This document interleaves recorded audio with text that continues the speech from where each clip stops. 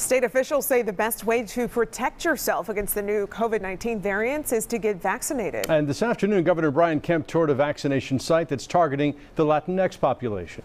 Fox 5's Claire Simms joins us live from the Latin American Association. And Claire, they also want to reach out to African Americans. Yeah, minorities have been disproportionately affected by the COVID 19 pandemic, and yet they lag behind in vaccination rates. And leaders here at the Latin American Association, they want to change that. Now, Governor Brian Kemp, First Lady Marty Kemp, and Georgia Department of Public Health Commissioner Dr. Kathleen Toomey toured the vaccine site at the Latin American Association this afternoon.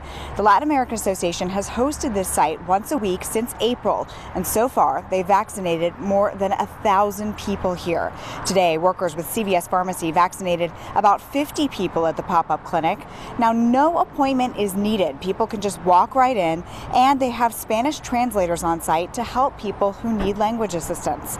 The latest data from the Georgia Department of Public Health shows that 42% of Georgians have gotten at least one dose of the vaccine, but the number is significantly lower for the Hispanic population at just under 31% and 32% for black Georgians. And one of the ways officials hope to reach those populations is through community organizations like the Latin American Association and community events. We are doing everything we can to bring the vaccines to the communities, not making uh, people search for the vaccine, as, as, was the case early on in the pandemic. Between now and July 4th, we are doing over 370 uh, events in communities, everything from uh, street fairs and church, church meetings, and also many Juneteenth uh, celebrations this weekend.